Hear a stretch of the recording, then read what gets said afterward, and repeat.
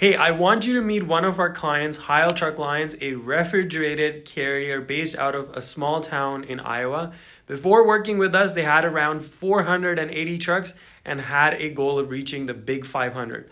They were slowly making their way there, but had to do hundreds of dead end follow up calls every single day to simply get a few drivers hired, with only one or two actually being qualified. Now, after working with us at gettruckdrivers.com for about two years, they now have 530 trucks, 1,300 trailers, and consistently hire 30 qualified drivers month over month. And the best part is, all of these drivers' applications are inbound, meaning no more cold calling and endless follow ups that lead to nothing. Today, I'm talking with Hannah, the recruiting and marketing manager at Heyl Truck Lines, to discuss exactly what we implemented to get these types of incredible results.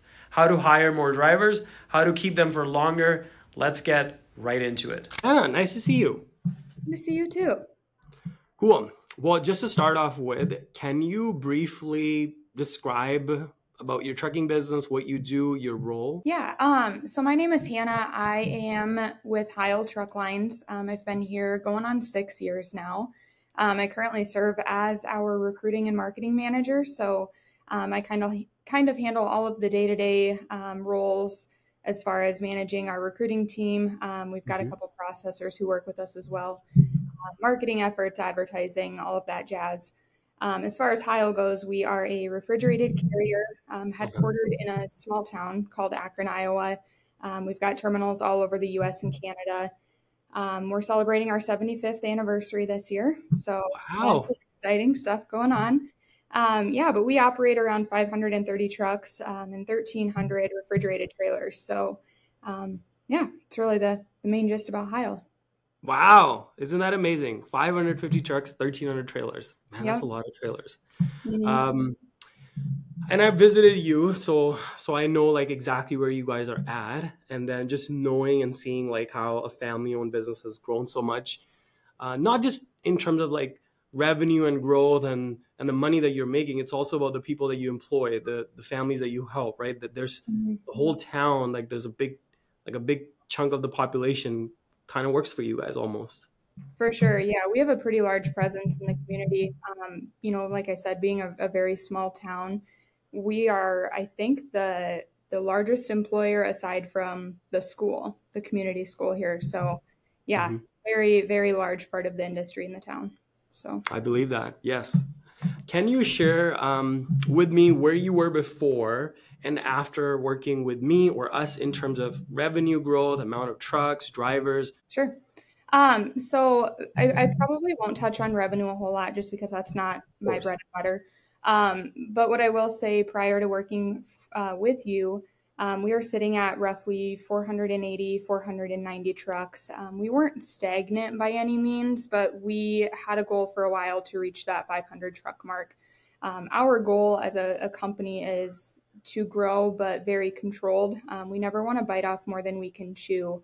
Mm-hmm. Um, and and with or by working with you, we were definitely able to succeed what you know our, our goal was. So um, we were working with outside agencies. Um, you know, just uh-huh. get, getting those multi-carrier leads sent to us every day. I remember when I first started in recruiting, there were days where you know I was making 150 200 follow-up calls just just making dead end calls leaving voicemails it was bizarre um, and now i mean with with all of the direct leads that we're seeing um, like i said we're we were able to to reach 525 530 trucks now um, definitely growing but like i said very controlled and steady just how we want it to be um, mm-hmm. and yeah it's it's been incredible to reach our goals and and even ex- exceed them sorry, I can't speak, but even exceed them here in the past few years. So, wow, isn't that cool? Yeah. And I know we've known each other for since what 2021 now, so it's been like three years, right? Mm-hmm. And we work closely for close to almost two years. I think one and a half to two years, if I think roughly. Um, so after working with us for let's say one and a half year or two years, um, how many drivers would you say on average did you manage to hire? Just even roughly, if you would say it. So I would say we're we're holding pretty steady at that 30 drivers a month, sometimes more, sometimes a few less. Um, last year, our goal was to hire 300 drivers, um, mm-hmm. and we actually ended up, um, I believe it was 392. We finished the year with hiring. So, yeah, um, we see pretty consistent numbers every month. Um, definitely reaching those goals, and it's just day and night difference compared to you know prior to, to working with Get Truck drivers and, and you. So kudos to you guys for you. yeah, for the for the process you guys have implemented and, and taught us. Hey, before you keep watching, I have to tell you about something that will help your trucking business. If you are looking to get the results we've been talking about in this interview, I have a program where we help trucking companies hire an extra 15 to 30 qualified drivers every single month without hiring a recruitment agency or using job boards or offering ridiculous sign on bonuses ever again. If you are a trucking business that has over 10 trucks and are looking to expand, click the link in the description and I'll see you on the other side. Cool. And I'm assuming, well, you kind of said this, but I'm assuming this is like, you know, man, I would just hate making 152. I mean, if I had to, if I was a, you know, for my own business, I would totally do it 150 to 200 follow up calls it is not easy it is not fun it is not very motivating uh, mm-hmm. uh, because you know it's it's you're kind of gambling almost at that point and hoping you could catch something For so sure. coming from that world to now like more people that are trying to chase you and trying to talk to you or drivers that are trying to talk to you right yeah it's it's definitely helped to um, you know build our brand awareness as well um, you know prior to 2021 and prior to working with you if we called the driver and we'd say we were with Heyl Truck Lines, you know, they they didn't recognize the name. We obviously have trucks out on the road, but um, mm-hmm. now they see us on social media. They see our faces everywhere. Um, they they notice our trucks more on the road, so um, they know exactly who they're talking to, and it it makes phone calls a lot mm-hmm. more enjoyable too. So nice, that's yeah. cool. So you touched a little bit on this, but we'll go a little bit deep on it. What were the main challenges you faced before? Did you feel that the only way to grow and get new drivers was to use the job boards or the multi carrier leads that you were getting in the past? Well, it was all that we knew. Um, mm-hmm. That's what we had been doing for so long. And I, I, can't speak a whole lot on this just because I, I hadn't been in the recruiting department very long prior to working with you, probably about nine months or so. Okay. Um, but it was mm-hmm. all we knew. Um, and that was really just kind of the thing that everybody did. Uh-huh. So, you know, it, it definitely was a, a, challenge and it made things more of a struggle. But uh-huh. again, you know, we didn't know any different from that. Um, so I, I guess that we really we knew we were struggling, but we didn't know that we were struggling as badly as we were uh-huh. until you know we had people actually knocking on our door directly. So, wow, yeah. And how has your process changed, would you say, for hiring drivers since working with us? Um, honestly, I think that as far as like our process goes, that has been more of like a an, an internal thing, internal mm-hmm. decisions that we've made. But um, working with you and getting your insight on, you know, s- just simple things that we never thought about. You know, the the proper way to hire um, and to search for a recruiter or mm-hmm. to search for, you know, just a member of our team here. Um, mm-hmm. And just those little tweaks that we could make to um, follow up processes for, you know, mm-hmm. prospective drivers and, and things like that. Um, we definitely, it, it's not a perfect perfect process still by any means. There's there's mm-hmm. always work that can be done. Um, but I mean, you've definitely helped us gain a lot of insight and, and you've grown our knowledge on just those little things to search for um, and, and little updates to our process that we could make, I guess. So um, it's mm-hmm. more of a well oiled machine now, I would say, um, which mm-hmm. has definitely helped us for sure. Very cool. Now, since you kind of mentioned this, like, are you still following like the scorecard, like holding people accountable to it, like, you know, running recruiters through it? And that must have been a foreign term when I first talked about it, right? Yeah, most definitely. Um, and we still kind of keep those items from the scorecard handy and in the back of our mind, but I, I honestly don't follow that, you know, verbatim anymore. Um, I know. That's a good problem to have, right? Yeah. Because you're a good PT member that you're not holding them accountable, but they know this is like your North Star, right? Right. Yeah. And, um, you know, we, we definitely still try to make sure they're being held accountable, um, just kind of depending on the scenario or the situation that we're in. Um, you know, follow up calls is probably the largest thing that I hold them accountable for, um, making sure that that they're staying in touch with their drivers and things like that. But you know, it, it we really don't have an issue. We have a we have a great team. Um, I I really don't know where we'd be without him if if we don't if we hadn't had him for the past couple years. So. And we rebuilt the team with you, right? Like mm-hmm. where we started with the, the, the recruiters that we started So now what the team looks like, it's completely different. And I was thinking about it this morning. Now these are things that I internally know, but I I gotta I gotta share this for anybody watching. Is like you and Caitlin spearheaded the recruiting. You had two more people on your team. Now it opened up so much time for Caitlin in some ways that she's moved on to a different department, giving a hand there, and you're running the show here like smoothly, and things are still rocking and rolling. Yep, absolutely. Yeah, I think when we first started working with you, we had two other recruiters, um, mm-hmm. and those two are no longer with us. They moved on to other jobs, which you know is mm-hmm. normal in life. Um, but not long after, we hired two additional recruiters to fill their places, and they're still with us. Um, they absolutely kill it. They're rock stars. Um, mm-hmm. And then we have added two processors as well. So um, just kind of handling the back end paperwork and things like that for onboarding drivers and things like that. Um, but yeah. And you guys were doing, now I'm going off tangent, I know, but this is important to know because some fleets that are at your level are trying to be at the same place where you are they're trying to figure out, I'm like, well, you know, is get truck drivers all about recruiting, which we are, but then also it's it's about like optimizing those pieces. And you didn't had any process dedicated processors, right? Like you guys were calling, hiring, running the paperwork, scheduling the travel accommodation. I'm like, man, that's a time suck. Like you guys are sale people, just be on the phone and let all this admin work go to dedicated people, right? Yeah, we were we were doing everything um, as a recruiter, I mean, we were making the calls, pushing for the application, and then we were processing all of the paperwork.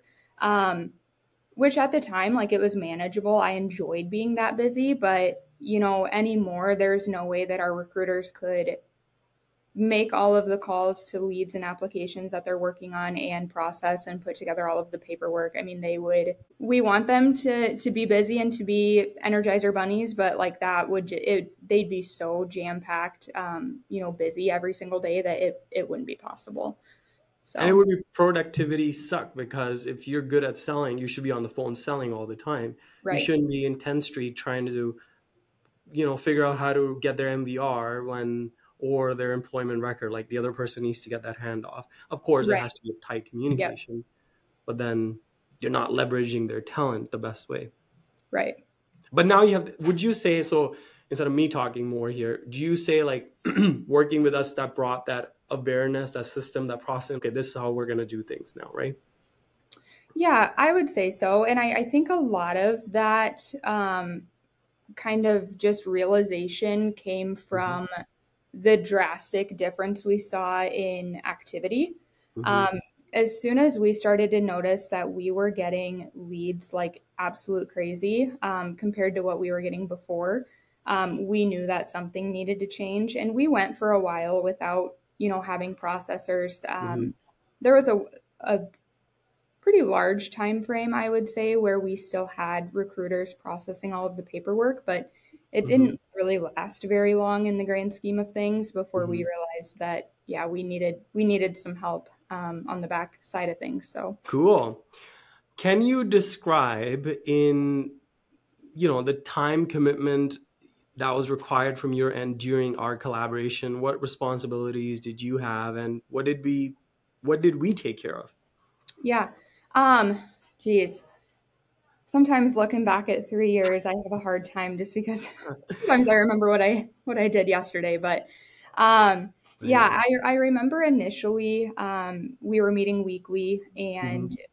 You guys helped us a lot with setting up our workflows, and I remember setting up like the ManyChat, um, pipelines, things like that.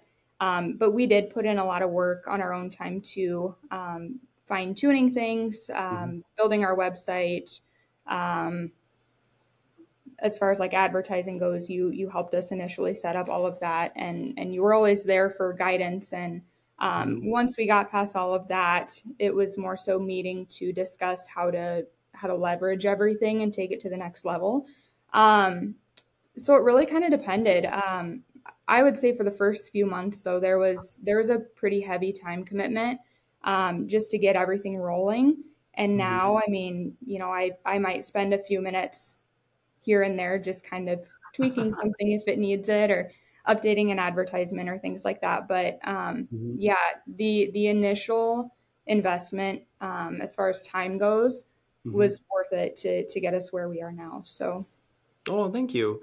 Yeah. Um, you know, it is it is a lot of grunt work, and and when I was saying it to who was I talking to? There was a trucking company. I we just you know, there's tons of people that I'm enrolling onboarding, and then one of the trucking companies I I, I spoke to them. I was like, hey, when we ran one-on-one coaching in the past, it was a lot of grunt work, and I was saying to them, I was like, what you what the other companies have went through two years ago, you're probably not going to go through that phase because I was like literally taking a brick by brick and building the house with them. Now mm-hmm. I've kind of like it's it's like perfected. Now I'm giving you the pre-built house and you're just customizing the pieces, the wall colors and the doors that you want. But the house is pr- pretty much built. And we're going to pour still a very solid foundation with you so you know where everything is. Now, not to fly off to Pluto, Steve at Pride, he said that he was like, I believe in this model. And then he kind of solidified it for me as a client. And let me know if you feel the same way. I believe that anything that is hard in the front end is going to be easy in the back end. Anything that is easy in the front end is always going to be hard in the back end. If you look in life, anything, right? It's mm-hmm. just a natural fact.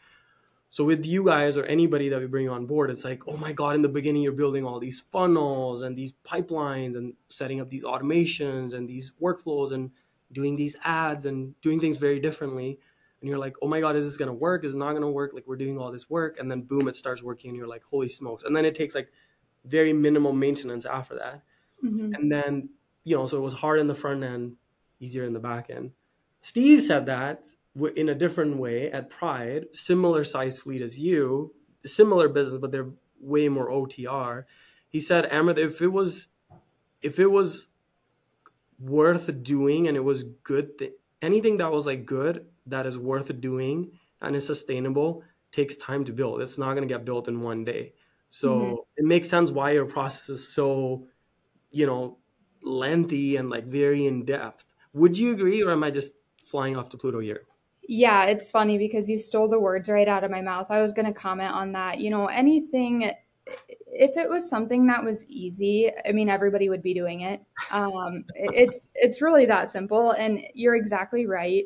Um, and Steve is, I, I, should say, Steve is right too. You know, um, if if it's something that is difficult, um, you know, at the beginning, in the end, it's going to be totally worth it, and it's going to make your life a heck of a lot easier or better um, and, and, that's anything in life you know it's it's mm-hmm. training for i don't know an, an athletic event or um, mm-hmm. you know financially or whatever the case may be you know right so very cool yeah so based on the results that you've gotten so far or in the past and and the success that you guys are running with where do you see the the fleet or the business in the next six to 12 months from your perspective um, well, as we touched on before, things can get you know a whole lot better here. First, the the industry and the market needs to improve. Mm-hmm. Um, you know, it's it's really tough. We want to continue to grow. We want to continue to you know, mm-hmm. um, again, controlled. We want to we want controlled growth, uh-huh. but um, you know we we want to make sure that we're doing that in a sustainable way um, you know i have no doubt in my mind that if we wanted to go hire an additional 50 drivers for one of our regional fleets right now, we could do it by the end of the year and, and grow that. But with the way that the industry is right now, um, mm-hmm. we can't. We don't want to. Um, so I, I think that that's that's difficult to say without knowing exactly what will happen in the near future. Um, so the goal is is to continue growing and to continue doing what we're doing, but um, we need things in in the industry and in the market to improve before we can. So yeah, freight rate sucks. We need those, but it's, it has. To, we have to go through this this patch yeah. in order to get you know the access capacity has to get purged before we can actually see you know better greener pastures. Really cool. Sure. Okay. So, were you surprised? This may be a little bit redundant in some ways, but were you su- surprised? Just so I, it's it's very clear for anybody watching, were you surprised by the results you got by working with us? I'll be honest, personally, yes. Um, I tend to be kind of a skeptic. Um, I wouldn't say I'm a pessimist, but I just mm-hmm. tend to be more of like a realist.